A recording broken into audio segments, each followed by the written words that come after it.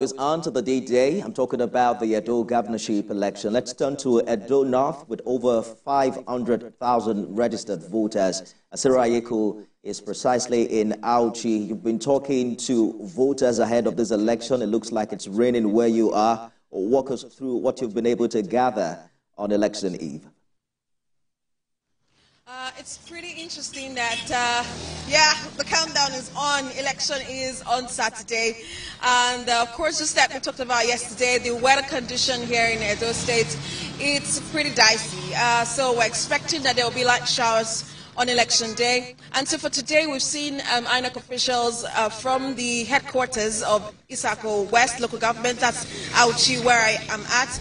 Uh, they've distributed uh, sensitive and non-sensitive materials to the various registration areas, that's to the wards. Uh, hopefully by election time tomorrow morning, these election materials will get to the 322 polling units that we're expecting to see across the local government. And so you know that this local government, of course, eyes are on this local government, and just like you wrote earlier, it, this local government is one of the swing regions, you know, for this election. It can influence the possible outcome, you know, for this election.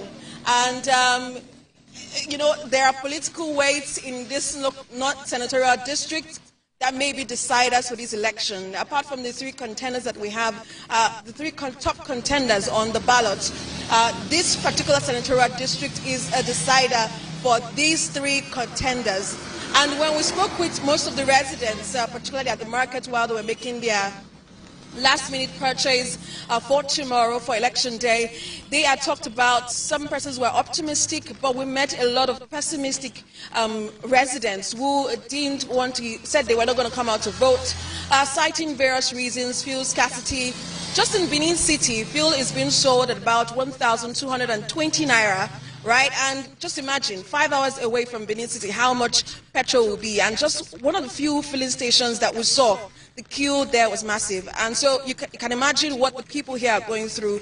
Uh, someone said he bought a bag of rice 110,000 naira. So they feel that the economic situation, the fuel scarcity, the high cost of living, like there's nothing to come out for. And uh, even when I tried encouraging them to come out and vote for the next governor of the state, they feel that they've lost confidence, you know, in the leadership, in in those who they eventually elect. And so while some persons are pessimistic, we're hoping that um, tonight, you know, with the door-to-door campaigns from the various political parties, they can actually sway the minds of the electorate.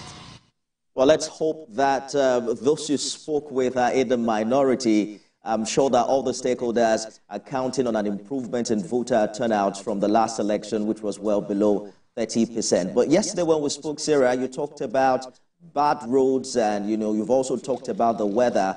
Did you raise these concerns with INEC officials? Um, what's their plan with logistics to be able to navigate these um, conditions? If I mean, interestingly, uh, the INEC official we got at this local government was not really receptive.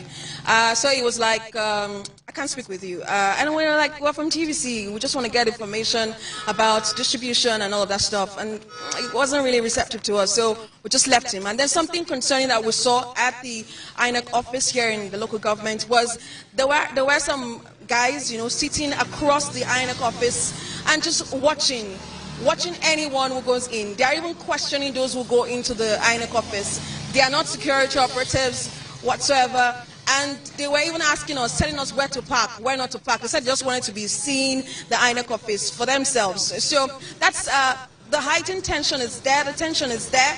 Even though the police have said that they would try to douse that tension, here in the local government, they've deployed over a thousand, about a thousand police officers. That's aside the sister, agencies that will be coming to assist the police officers in this electoral process. So they've deployed a thousand to the five divisions in this local government, and hopefully, when election day comes, that number would speak volumes and it will speak peace, credible and fair election.